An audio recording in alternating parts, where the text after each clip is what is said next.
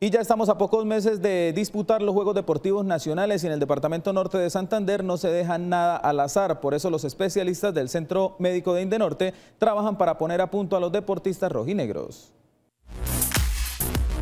El Centro Médico de Indenorte es liderado por el ortopedista traumatólogo Carlos Manuel Rey. Además de velar por la recuperación de los deportistas de la región, se busca optimizar el rendimiento a través de la biomecánica. Vamos a, trabajar en, en pro del deporte del norte de Santander eh, poner nuestro granito de arena para que los deportistas estén en óptimas condiciones. El gobierno departamental ha invertido buscando la modernización del centro de alto rendimiento de Indenorte, el cual está conformado por material humano muy capacitado. Ortopedista, tenemos médico general, psicólogo en deporte, fisiólogo y de nuestra parte pues toda la parte de rehabilitación fisioterapéutica en lesiones, prevención, rehabilitación y readaptación del deportista. La aplicación de la biomecánica al entrenamiento permitirá innumerables acciones de perfeccionamiento de la técnica y la prevención en lesiones. La idea es no esperar a que el chico esté lesionado para traerlo, sino que también trabajamos mucho desde el área de la prevención,